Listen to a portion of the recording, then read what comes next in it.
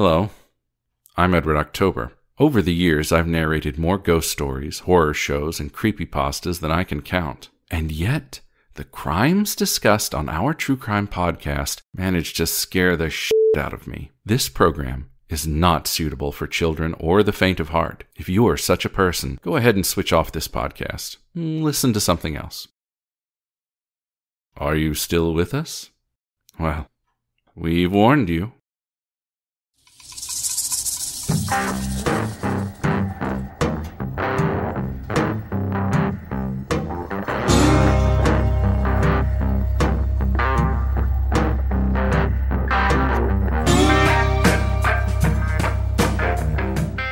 Jen. Hey, Cam, how you doing? I am doing fantabulous. Yourself? Well, good. I'm doing great. Thanks. Yay. It's uh, after Easter and is uh, Sunday.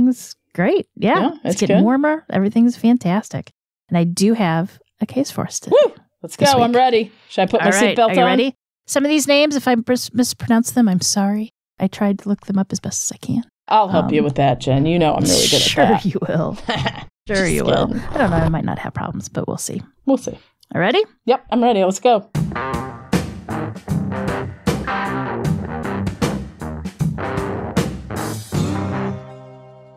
Right, it was a cold and snow covered morning in February of 2010 when Thomas and Lynn Love decided to take the scenic route to Woodbridge, which is a suburb of Alexandria, Virginia.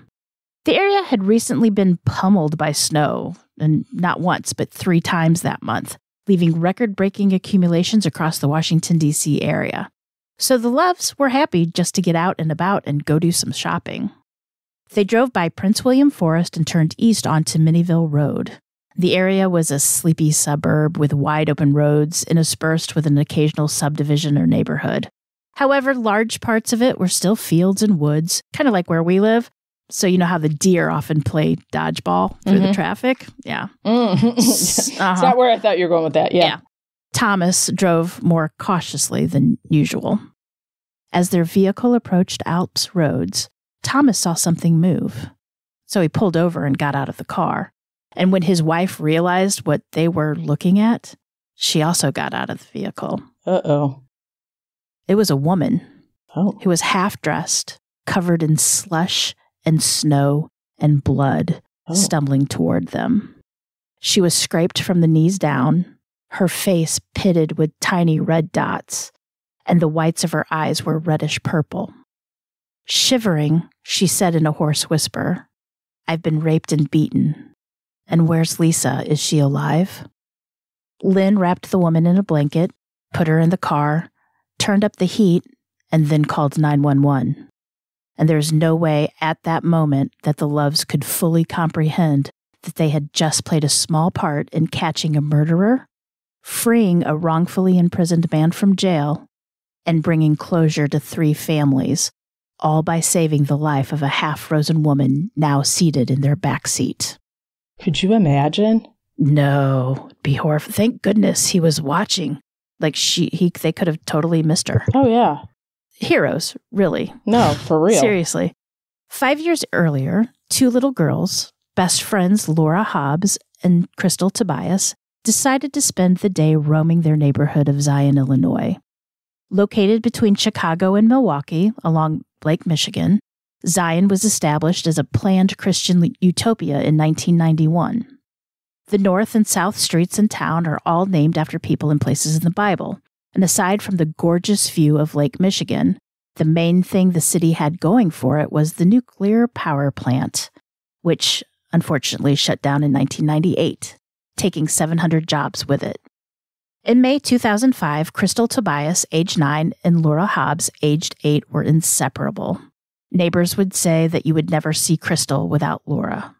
Krystal's family was a close knit, hardworking family who had immigrated to the United States in 1988 and lived in a small ranch style home on Gilboa Street. The neighborhood was mostly tiny, one story homes in large lots, giving the feeling of being spacious while still being part of a community. One block from Krystal's house was the Beulah Park Nature Area. Like so many, Krystal's family was a blended family, but that made no difference to them. Krystal's older half brother, Alberto Segura, was 15 in 2005 and was extremely protective of his baby sister. Krystal was a Girl Scout, had many friends, and was very well liked.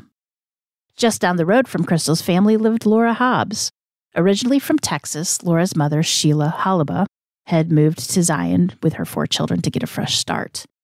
Although she never married Jerry Hobbs, the couple had been in a long term relationship, and he was the father of three of her four children. Jerry Hobbs had plenty of run ins with the law that went back to 1990, mostly stemming from alcohol abuse. When he got drunk, he picked fights and did stupid, sometimes violent things. His last stupid, violent thing he did was in Texas in 2001. After fighting with Sheila and being deeply drunk, he started chasing the residents of his mobile home community with a chainsaw. Oh. Hmm. Luckily, nobody was hurt, but that was due mainly to a quick thinking neighbor who hit him in the back with a shovel. Oh. Whoa. Yeah. Jerry Hobbs was charged with aggravated assault and sentenced to probation. And that wasn't a bad outcome considering how much damage he could have inflicted, except that he did violate his probation and was sentenced to 18 months in prison. In 1990 and 1996, he was arrested for aggravated assault. And in the years leading up to the chainsaw incident, he was arrested twice for driving with a suspended license, twice for possession of marijuana, and several times for evading arrest or resisting arrest. He and Sheila kept in contact while he was in prison, and they you know, they talked things out. He cleaned up his act, and he desperately wanted to be a part of his children's lives. Sheila, who was living with her parents by then, agreed that he could return to them in Zion once he was released. And according to his family and Sheila's, for all his faults, Jerry Hobbs was never violent or mean towards his children. After being released from prison in April of 2005, Jerry joined his family in Zion, where his daughter Laura had already established herself as one of the most popular kids in her school and neighborhood. She was also the one person among the neighborhood kids who reminded everybody when their curfew was up and when it was time to go home. She's a very responsible kid. She's that kid. On Mother's Day, Laura begged her mother to let her go outside to play with Krystal. However, Laura was supposed to be grounded because she had taken some money from her mother's purse earlier that week. However, since it was really the first warm day of the year, her mother decided to let her go out. And although she stipulated that Laura needed to be home in time for dinner, it was Mother's Day, you know? Mm-hmm. Before Krystal Tobias went out to play that day, she had given her mother a flower pot with I love you, mom, spelled out in colored styrofoam letters. Aw. She'd also given her mom a coupon book, good for two days of watering the plants, one hour of helping with the housework, one big kiss and hug, and one hour of peace and quiet. Because, like I said, it's Mother's Day. Mm-hmm. That's very cute. I could use a whole booklet of an hour of peace and quiet. Krystal didn't have a bike of her own, so she and Laura would ride together on around the neighborhood on Laura's bike. Laura would pedal while Krystal would stand on the back pegs on the wheels, right? Yep. I remember You know doing that. about? Yeah. Uh-huh. Heck yeah. Around two o'clock in the afternoon, the two girls showed up at the home of their friend Hector. They played football with him for about an hour, but when Hector's family went out for ice cream, Krystal and Laura had to leave. So the girls then headed to another friend's house. That friend wasn't there, so the girl played in the hammock in her backyard, assuming that, you know, when she came home, they'd just play, right? Mhm. They just waited for her in the backyard. The girls stayed till about 4 p.m., but eventually they realized that this girlfriend wouldn't be home anytime soon, so they moved on. And shortly after that, a neighbor spotted them and said that the girls were on Laura's bike talking to a young man who looked to be about 15 years old. Laura and Krystal were not seen after that. Oh. The mothers became a little concerned when neither girl made it home for dinner, and it wasn't like them to be late. Laura's curfew was at 7 p.m., and both families started to worry when curfew came and went and the girls hadn't returned. Both families searched for the girl up and down the street, stopping to ask other neighbors if they had been, you know, have you seen Laura and Crystal?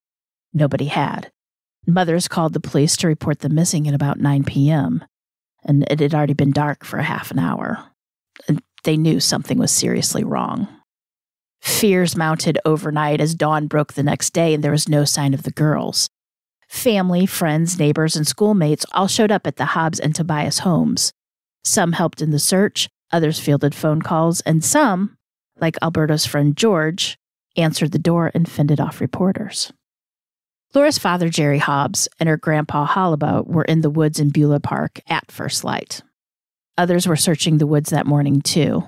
Ominously, they came upon Laura's bike lying abandoned on its side. Ugh. Moments later, Jerry saw something through the foliage and dove through the thicket. Mr. Holliba heard him scream and without hesitation ran after him. He heard Jerry yell, Over here! They're dead! They're dead! Mm. Jerry Hobbs had just found the, the dead bodies of his eight year old daughter and her nine year old friend Krystal. They were face up, fully dressed, lying side by side with their shoes laid neatly next to them. Searchers in the woods called 911. Jerry Hobbs can be heard moaning and crying in the background of the call. An autopsy would later reveal that Krystal Tobias had 11 stab wounds, several in her neck and one puncturing her liver.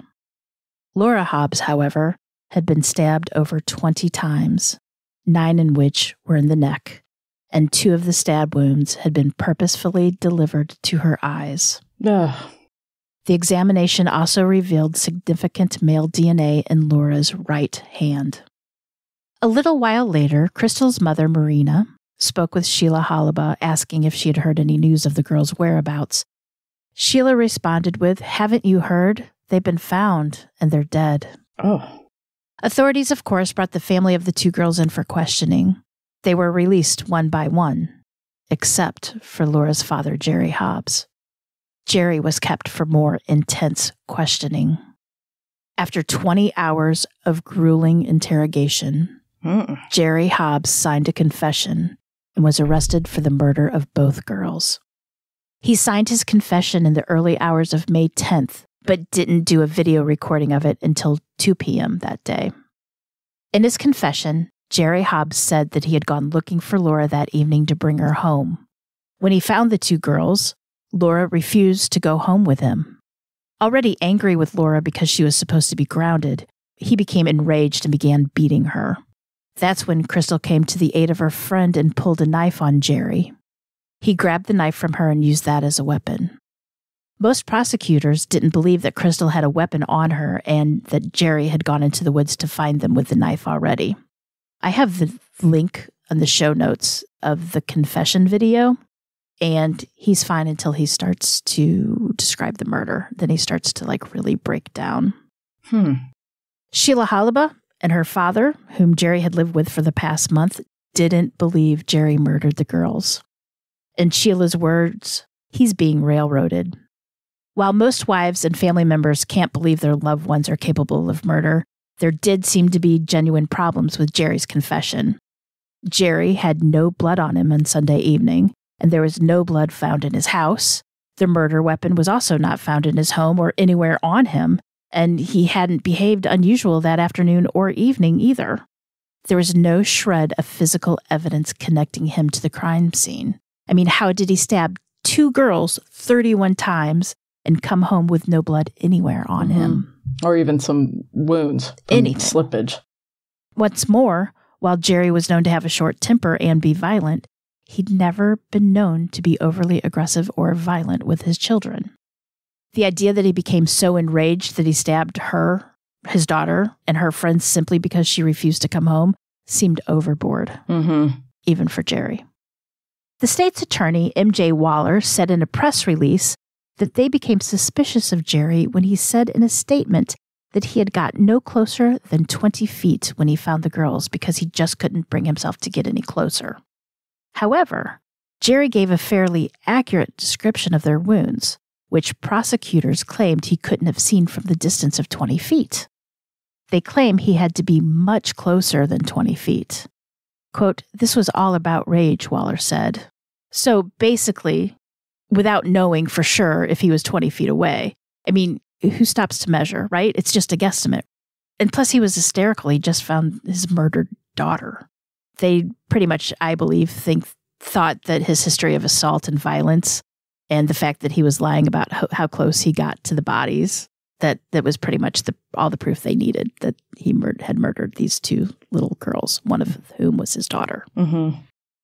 The next day, the newspapers ran a story in which the opening paragraph reads, quote, The man accused of stabbing to death his eight year old daughter and her best friend hunted his child down in a park in a fit of rage because she was supposed to be grounded for stealing money, prosecutors said Wednesday. With Mhm. articles like that, public Mhm. opinion is pretty much cemented quickly. On June 1st, a grand jury indicted Jerry Hobbs for the murder of both girls. And as often is the case, people who confess to a crime often deny it later. And Jerry was no different, pleading not guilty on June 9th. He claimed his confession was coerced and that he was denied access to a lawyer. The neighborhood was thrown into shock and deep depression, with parents vowing to keep their children safe. Min- Many parents waffled back and forth between ensuring safety and encouraging independence, which has been a much debated topic among parents since the dawn of time. The parents of the friends the girls played with and wanted to play with that day expressed guilt and sorrow for not being home when Laura and Krystal wished to play. And in separate statements, they both said the same thing. You know, if we would have been home, maybe they'd still be alive. Which the guilt, I can't. Yeah, you, you, It's not what if- their fault, yeah, but you'd still course. have that guilt. Always. What if I did this? What if I did that? Exactly. If we wouldn't have gone for ice cream, if we would have taken the girls with us to go for ice cream. Yeah.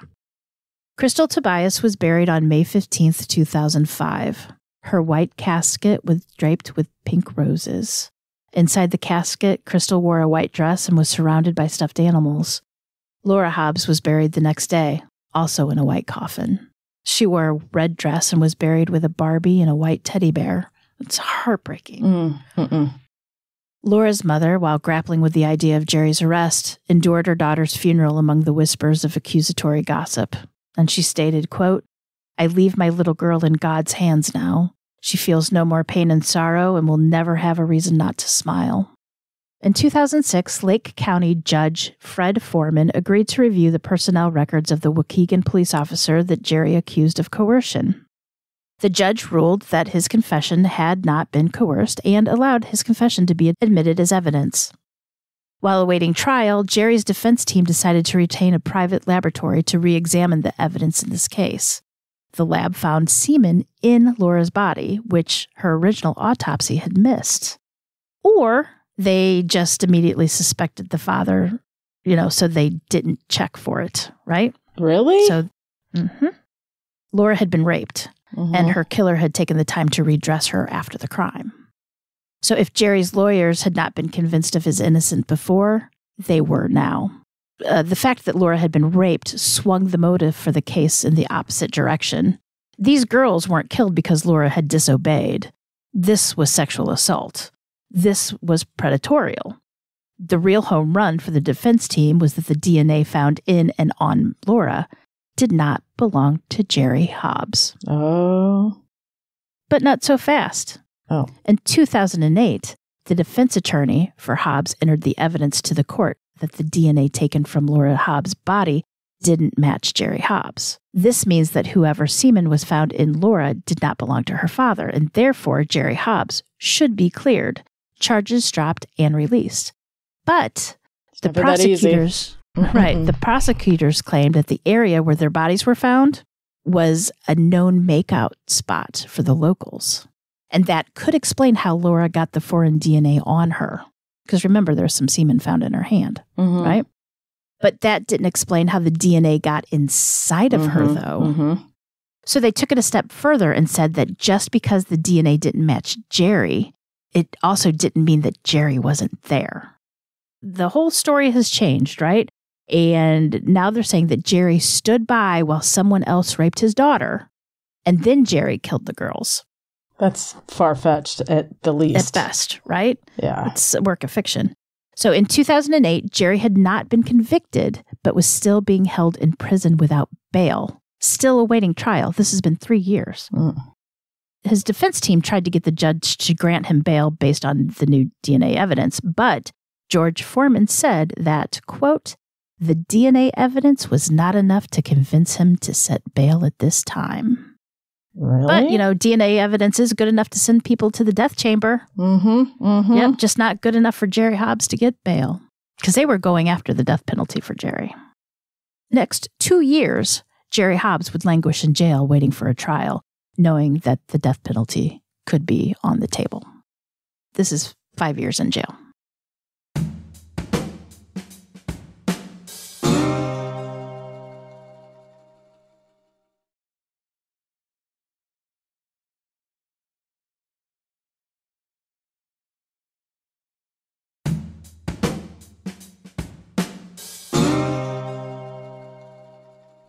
In July 2009, Amanda Jean Snell was busy enjoying her job in Arlington, Virginia.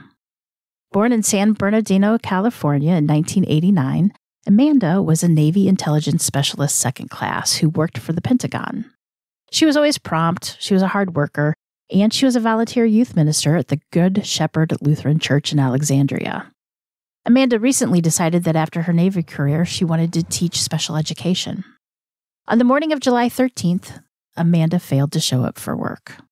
Her supervisor knew that something had to be wrong, so they headed to her barracks storm room at the Joint Base Myer Henderson Hall to check on her. Her door was unlocked. When they went in, nothing seemed to be out of place, and the bed was made. Still, something didn't sit well with him. So he checked the closet and the locker. There, folded with her head covered in a pillowcase and her Oh. feet pressed against the locker wall, was the body of 20 year old Amanda. Mm. NCIS was called in and they interviewed everyone in the building. Nobody heard or saw anything. They noticed that the top sheet was missing from her bed, even though it had been neatly made. It is possible that Amanda didn't own a top sheet, but it was odd enough that the investigators removed the bottom sheet, bagged it, and sent it to the lab.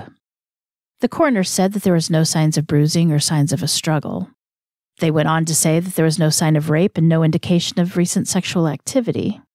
So the coroner gave the cause of death as undetermined. Amanda Snell's family was devastated and unsure of what to make of that ruling.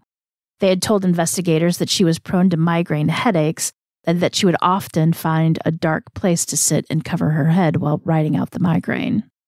Even though Amanda's laptop and iPod were missing, there were shoe prints in front of a locker that didn't belong to her, and she had abrasions on the top of her feet, indicating that she had been dragged. Investigators still felt Amanda could have gone into that locker, put the pillowcase over her head, and accidentally suffocated. No. Thank you. That's ridiculous.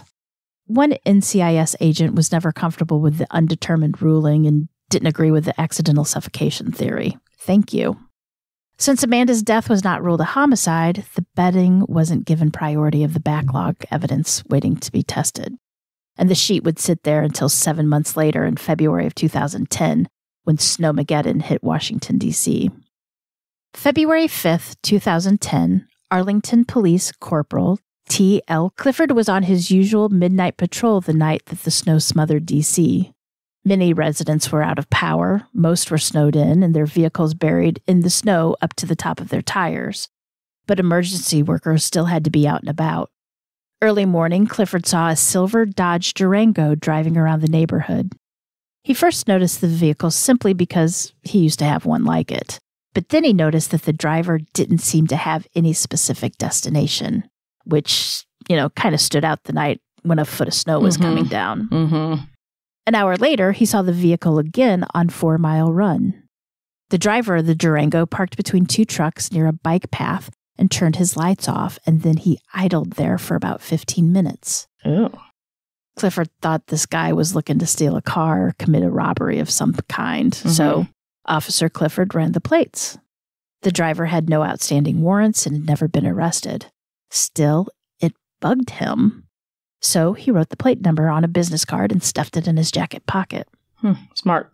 hmm The next night, Clifford saw the Durango again and noticed the same kind of stalking behavior. He watched the car and driver through binoculars and radioed Officer Nuselli, who was another overnight police officer, and told him to watch out for the Durango.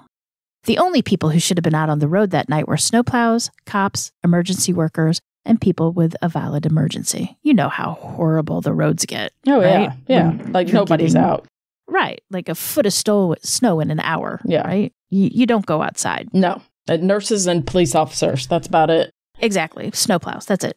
Nuselli responded that he had also noticed the vehicle on his nightly patrols. Later on that same shift, Nuselli and Clifford saw the Durango drive by with the window down, and they got a glimpse of a young man wearing a dark wool hat. Five nights later, on February 10th, another snowstorm hit the DC area. When a night shift nurse at a local hospital, we're going to call her Ann Downey, it's a pseudonym, Okay. when Anne got off work, she took the metro to her boyfriend's house.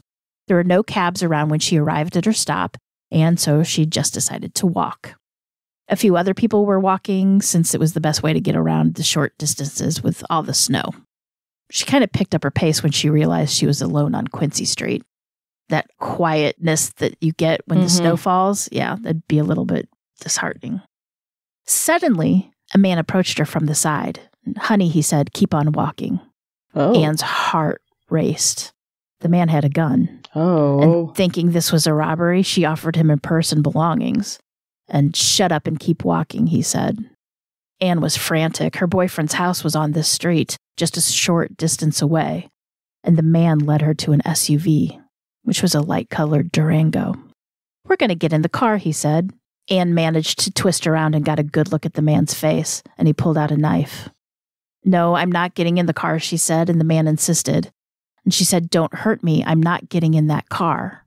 And No. then Anne tossed her purse and bolted to her boyfriend's house. oh, good. The whole way there, she thought, He's to shoot me in the back. He's to shoot me in the back. But you know what? She didn't care. Instinctively, she knew that if she got into the car, her fate would be worse than being shot. in the Never go to the second location. Thank you. Luckily, the shots never came. She made it to her boyfriend's house and banged on the front door, screaming. And as Anne shoved her way into the house, she looked back onto the street, but the man and the Durango were gone. She called 911. She couldn't remember the vehicle's exact color, only that it was light colored. And the police put out a bolo for the Durango. And when Officer Clifford heard the bolo, he said, You know what? That might be the one I'd been watching Mhm. but some of his co-workers brushed it off. So Clifford, thinking he might just be jumping to conclusions, didn't share his suspicion with anybody else. Mm-mm. Two weeks later, on February 26, 2010, Maria Jones, also a pseudonym, pseudonym, was walking home to her apartment on North Wakefield at 2 a.m. Suddenly, a young man approached her from behind and told her he had a gun. You're getting in my car, he said. Like Anne Downey, Maria Jones refused to get in his car. A struggle ensued, and Maria fought back with all of her strength. The man pulled a stun gun from his pocket and zapped her in the neck, but Maria, knowing her life was on the line, fought back. Good. The stun gun from the taser didn't knock her down at all. Hers, I guess, adrenaline was going. I would say so. Yeah, and her assailant was dumbfounded that the taser hadn't brought her to her knees. So Maria took advantage of him being shocked and she ran into her apartment and dialed 911. Maria hadn't seen the vehicle that the man was driving, but she did give the police a good description. He was short, young, and could have passed for a teenager. Oh. Oh. Oh. Two hours later, Lisa Howard and Tammy Davis, also pseudonyms, were on their way home from a night out on the town. The two college students, both 23, had taken the metro earlier that night to Woodley Park, where they attended a party and then they went to the Brass Monkey, which is a local bar. And I every time I hear Brass Monkey, I have to sing Beastie that Boys. funky monkey. Yeah. yeah. So my apologies. Yeah. Afterwards, they stopped at IHOP and got breakfast. At about 4 a.m., they headed back to Lisa's house where they planned to sleep off the night's fun. As they stepped onto the front porch, the two paused while Lisa hunted for her keys. Lisa heard a twig snap from behind her. She turned to see a man on the porch who told her, Give me your wallets. I have a gun. Keep your voices down and open the door. Terrified, the women did as he instructed. The man followed Lisa and Tammy into the house and threw their purses on the couch. He then asked if there was anybody else in the home. Knowing that her roommate was sleeping upstairs, Lisa told him no, nobody else was in the house. He then made them kneel on the floor. After he patted them down, he tied their hands and feet with a vacuum cleaner cord. He let them alone long enough to retrieve a knife from the kitchen, and when he returned, the women were almost out of their restraints. Angry, he retied Lisa with the vacuum cord and Tammy with a cord from an iron. He ordered them into the bedroom, telling them to get onto the bed. No, absolutely not, Tammy said. This seemed to confuse him. The man tried taping Lisa's mouth with blues painter's tape, but it, of course it comes off. That stuff's not sticky at all. So then he asked them if they had any masking tape, and he left the room and went off to look for something different, some other kind of tape to use. When he left the room, Lisa threw herself at the door and shut it. And even though the man had patted them down, he had missed Tammy's cell phone. So Lisa got out Tammy's phone and called 911. and threw it into the clothes basket, hoping the man wouldn't see it when he returned. But unfortunately, when the man barged through the door, the phone was still lit up, Oh. and so he was able to see it. And he grabbed the phone out of the basket and threw it against the wall and shattered it. Knowing the police could be on their way, at about 4:25 a.m., he dragged Tammy out to his vehicle, which was a silver SUV, and threw her in the back seat. Still tied to the vacuum cleaner, Lisa dragged it to the door, hoping to get a good look at the vehicle. She then began banging the vacuum cleaner around and screaming until her roommate woke up and came downstairs to see what was happening. As soon as her roommate untied her, Lisa redialed 911. The police immediately put out an APB for Tammy. In the silver Dodge Durango, Tammy desperately clung to the hope that the police would find her. She took note of things in his car and she tried to memorize the turns he took. She's smart. She kept her wits. Mm-hmm. Then he parked the car and he raped her. As he put on a condom, he said to her, Yeah, I'm not an idiot. uh huh, yeah, you are. Afterwards, he wrapped her head in packing tape, pushed her down into the floorboard, and drove for a long while. Then suddenly, Tammy could feel rough terrain. The car was no longer on a major road, and at this point, her kidnapper slash rapist made her perform another sexual act. Then the man tied Tammy's scarf around her neck and started to squeeze. What are you doing? she cried out. What do you think I'm doing? her attacker replied. Tammy felt her eyes bulging and she couldn't breathe, and then it all went black. Tammy woke up face down in the snow the following day with her arms over her head. She rolled over and stared up at the sky. Her head was bleeding, and her legs were raw from the knees down where she'd been dragged and dumped. Try as she might, she couldn't stand up. Her legs were shaky and weak, and she heard a car pass by somewhere, so that meant there was a road nearby. She had to make it there, so she dragged herself along the snow until she finally mustered the strength to stand up. Inch by inch, she raised herself up. She was freezing, and she was bloody, and she was half naked, but she was on the road. And then the car stopped, and then a warm blanket was put around her. With three of the four women describing a silver Durango or a light colored SUV, it didn't take long for Officer Nuselli to call up Officer Clifford and saying, You know what? Remember that car in the snowstorm? He's like, Yeah, I have a feeling it might be the same vehicle. Do you, any by chance, remember the tag? Clifford recalled writing it down but couldn't remember where he put it. However, he did run the tags through the electronic system of Virginia license plates, so Clifford told Nuselli to check with the ECC, which was the Emergency Communications Center. It took about two hours for the ECC to print out every license plate that had been run during the three night snowstorm because the online system for the state police was down. The silver Dodge Durango finally showed up on the list. They got the driver's license of the man who owned it. His name was Jorge George Alvila Torres, a Marine at the Joint Base Myer Henderson Hall. All documents say Torres, but his real name is actually Avia Dash Torres. Mm-hmm. But like the state versus Torres, Mm-hmm. it's not Alvia Torres. So I'm just going to go with Torres. You That's think that's fine. okay? Yeah. Because I really don't want to say Alvia Torres, Avila Torres, Alvila. No. You know what I mean? Yeah. As long Because yeah. last time we did it, the the killer's name was Harper Chadwick. Mm. It was hyphened. I got a couple letters saying that they hated that. All the women identified Torres out of the photo lineup as the man who tried to kidnap them. Tammy said it was definitely the man who had abducted and raped her and left her for dead. This gave police enough to get an arrest warrant. To find Torres, they needed the equivalent of a military search warrant because he was a Marine living in military housing, which fell under the jurisdiction of NCIS and Mark Harmon. NCIS gave them warrant without hesitation because, you know, yeah. duh, right? Mhm. Since Nuselli was the only cop on duty who had seen the Durango, he went to the base with Detective Fortunato. They found Torres's Durango parked on the first level. Fortunato then called Detective Stone, who was at the hospital with Tammy Davis.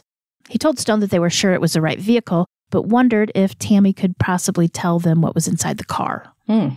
And she did. Tammy said that there was a boombox, which Fortunato confirmed was in the back seat. Oh. Tammy then told them that she had been bound with a cord of an iron.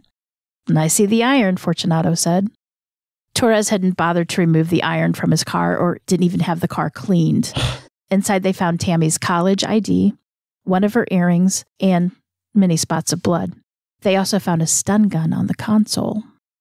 While detectives were celebrating the arrest of Torres, they also sighed with relief that they caught him before he could rape anybody else or possibly escalate to murder. Hmm. That was until they ran his DNA through Mhm. CODIS. Knew that was Now, coming. Virginia was the first state in the country to collect a perpetrator's DNA upon arrest. At the time, the rest of the states only collected DNA after the suspect was charged or after conviction. The guidelines in each state also vary regarding of what type of crime is required to collect DNA, so some states don't collect DNA for nonviolent crimes. Upon hearing that Torres was arrested for a brutal rape and attempted murder, the NCIS officer noticed that Torres had lived on the same floor, just seven doors down from Amanda Snell, oh. and he had even been interviewed regarding her death. Oh. The officer decided to check on the status of Amanda's sheet, which had been sent off for testing, and he was relieved that the sheet was still in storage, but no test had been run. He immediately bumped the sheet up the priority list. Even though the autopsy had claimed that Amanda Snell had not been raped or had recently consensual sex, her sheet revealed a semen stain. And who did it belong to? Ding, ding, ding. George Avila Torres.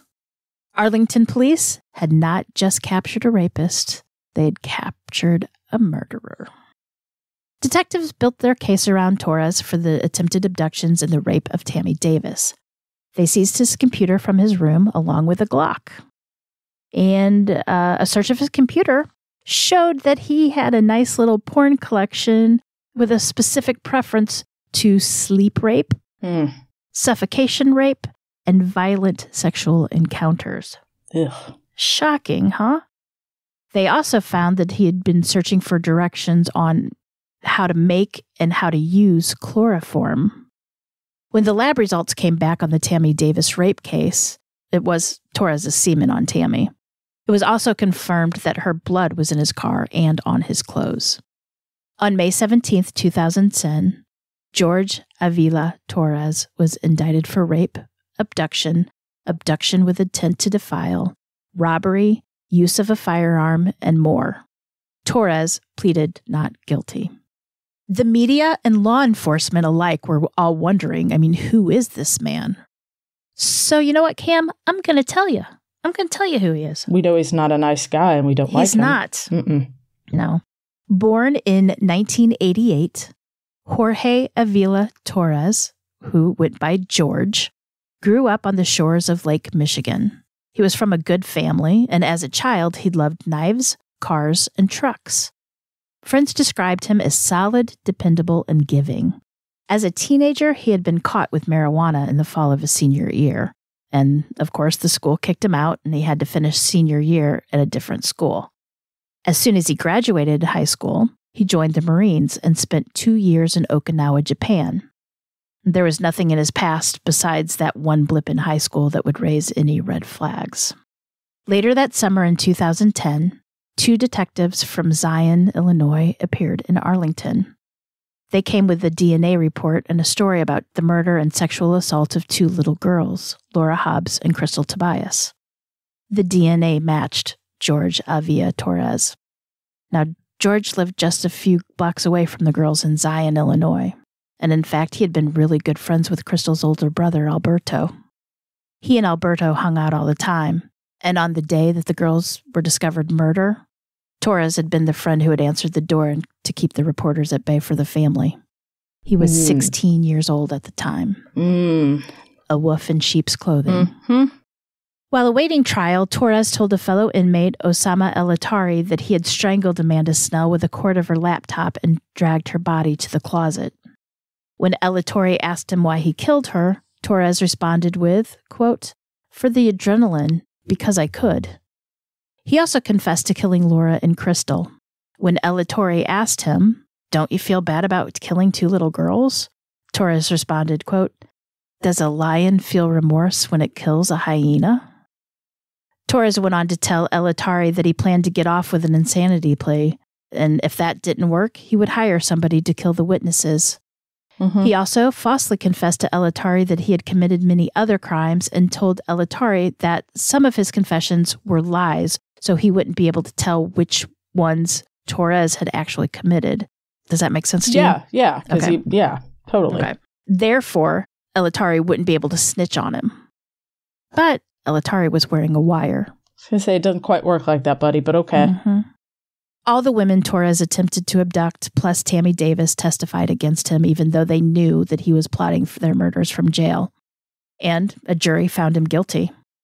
For the sentencing phase, the women all came back, gave a victim impact speech.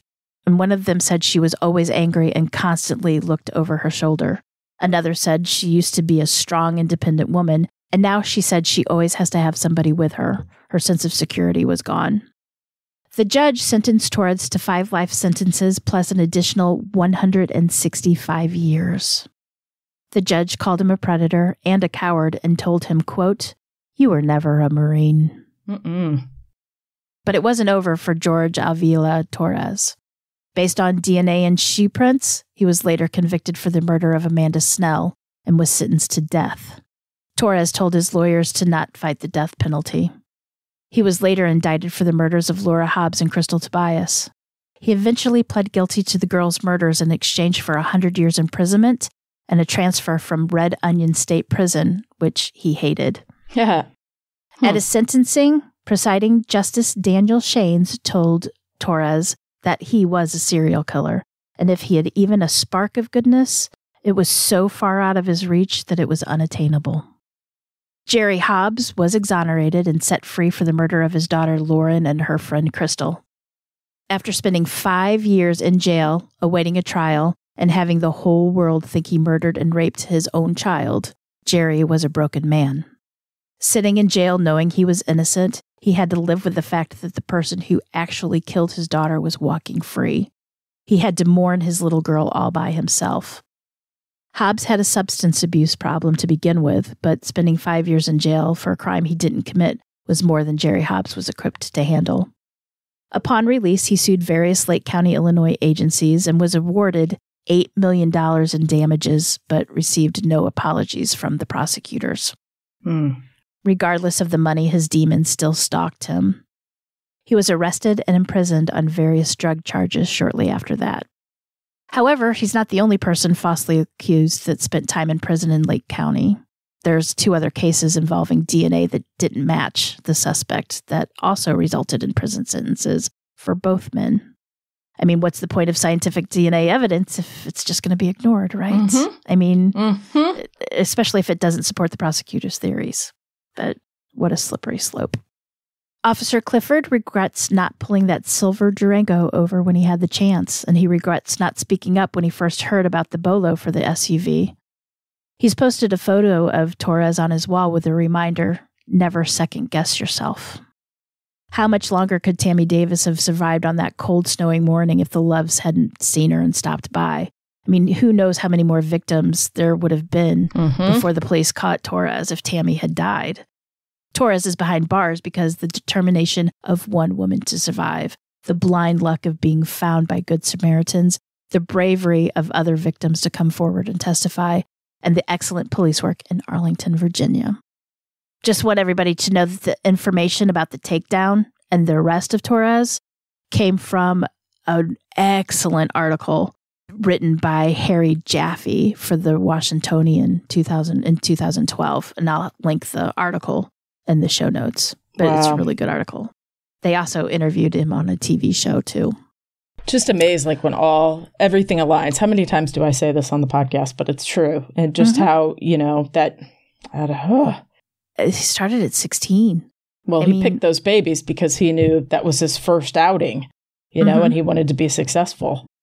They interviewed Alberto in one of the documentaries, and he talks about how George always seemed kind of jealous of Alberto, I think, Mhm. because Alberto, very cute kid, cute man, had better luck with the ladies, and all the ladies that Torres would try to connect with didn't like him, thought he was kind of weird, kind of odd. Mhm. I don't know if I guess that could be the reason. I don't know. I'm not a psychiatrist, but he didn't have any kind of rapport with women, Mhm. which makes sense that he's a rapist, right? And you know, people always ask what draws us to certain cases. Mhm. I saw a little article. I forgot if it was an article or a little something about this case.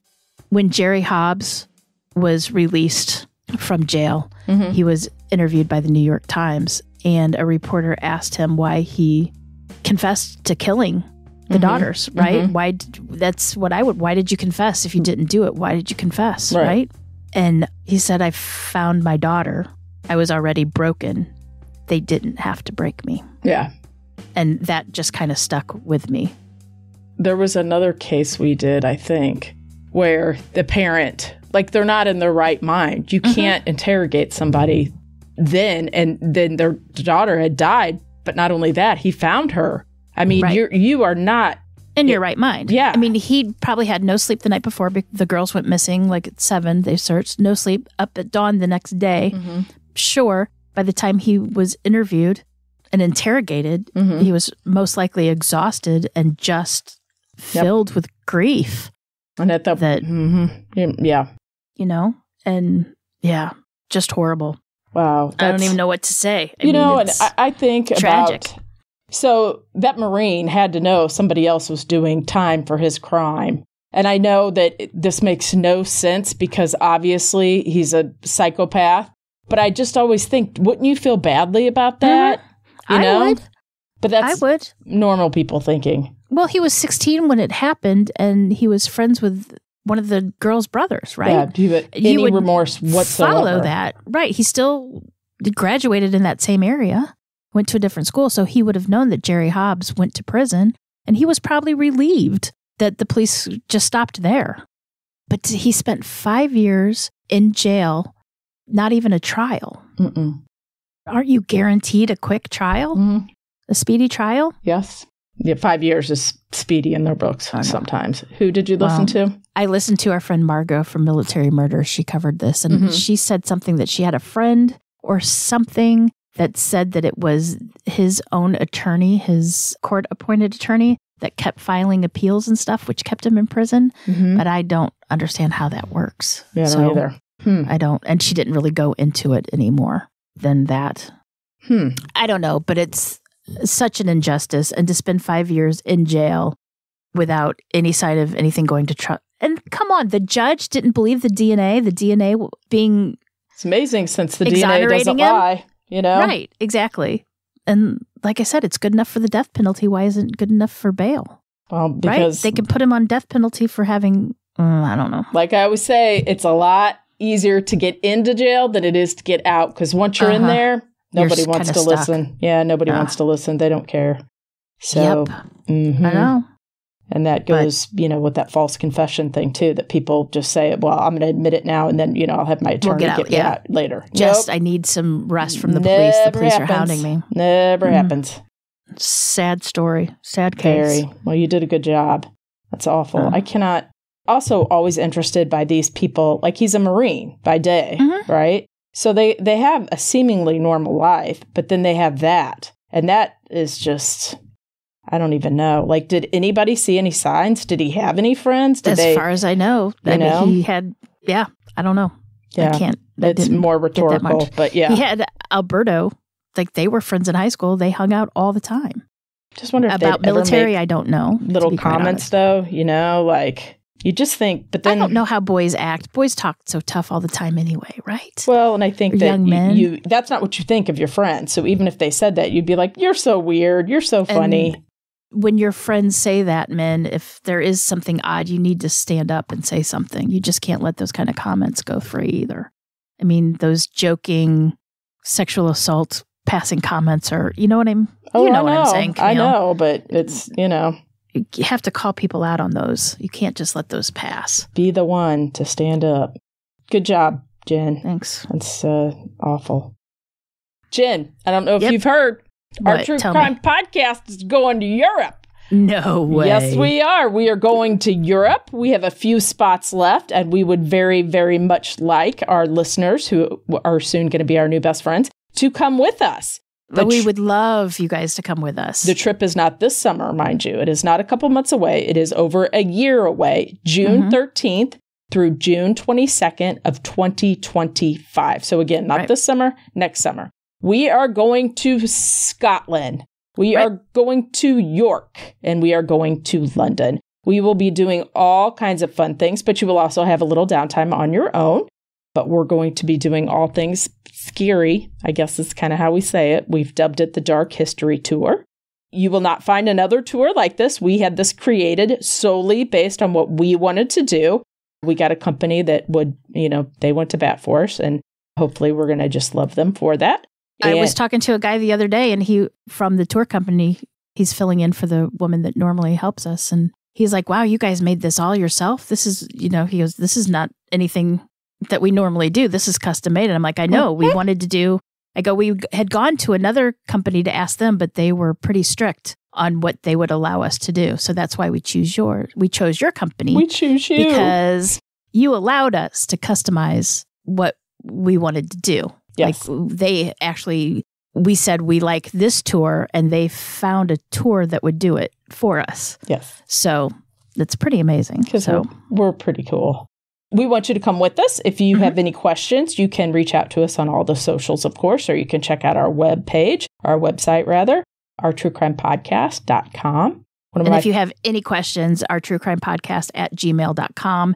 If you're trying to book online and you have any problems, make sure you get in touch with me. I will get it taken care of ASAP. People are coming for all different reasons. We just had one recently book who's going to celebrate their birthday with us. It's a milestone birthday, and they booked it. And I'm so excited. I can't wait to celebrate a birthday overseas. that is going to be so Um. I love it. It is. So if you're worried about traveling alone, don't be. You have Cam and I, who you already know. You might not have met us face to face, but it's the same. you get us pretty much What how we are hear on here. What you're going to Yeah. get. So, yep. Yeah. So we might bicker with each other a little bit more, but we're pretty We're going much to try to behave. Where you are, We're going to try Yeah. to behave. I say that a Um, year and a half away. Stay tuned. we will. But anyway, we'd love for you to come with us. It's going to be a good time. I'm really looking forward to it. I have like a little markdown calendar. So Oh, I'm going to do that. I didn't even think about that. Also, Mm-hmm. Yep. just so you know, it's not all inclusive, but it's pretty darn close. So we Oh, yeah. have two complete dinners with drinks, beer and wine, all you can drink, which is, you know, I think one's a mystery dinner, I a think murder that, mystery dinner. I think that's what the last one is, our last night there. How um, fun is that? A murder mystery dinner overseas with accents and everything. It's like a real Agatha Christie novel come to life. is. It is. Uh, also, breakfast every day is served, and it's not the Mhm. continental breakfast like here in the States. It's usually pretty good. Uh, and the way I kind of work it is I scarf down breakfast, usually skip lunch, maybe get a little light snack, and then uh, spring for dinner just to save a little money. But um, yeah, so we get our own personal tour guide who will be with us from the minute we land in Scotland, and they will stay the whole time with us. Then we get our own individualized tour guides for each tour that we Mhm. do. Your price of your airline fee is included. Your plane ticket is included. Unless you have like miles or something that you want to use, then they can take that off. But otherwise, you pay for your flight. Somebody will pick you up at the airport and take you directly to the hotel that we're staying in. And then when it's time to leave, they will drive you to the airport and send you on your way. But otherwise, once you get there, they're going to take you to the hotel where Camille and I will probably meet you at the bar. That's right. We'll be at the So, bar. Mhm, Welcoming we will come everybody. greet you. We will greet you when you come in, that is unless- correct. depending on the time. Yes. But most likely that's what we'll be doing. But we'll be but jet anyway, lagged, so you know, Yeah. maybe, maybe jet lagged. I don't know. but anyway, we would love for you to come. It's going to be a great time. So and fun. like I said, or we said, there's only a few seats left. So if you want to book, you might want to do that now. Sooner So than we can later. get you on and get everything situated. and. I do believe that there could be a price increase at the first of the month, but not necessarily. We just don't know. It just depends on what's going on out there in the world. That is really out of our control because, you know, if it was up to me and Jen, we'd all be going for free. right. But It's just the, airlines and such Yeah. like that. If they did, you know how they're on. you know, you know how it is. Yeah. All right. Did we forget So anyway, we'd else? love you to go. All right, Jen. Until next time, remember, lock your doors. Keep passing by those open windows. Uh, bye bye. Love ya and come fly with us. Come fly with me. Come fly away. I get no kick from champagne. All right. Okay. See. Bye. ya. Bye.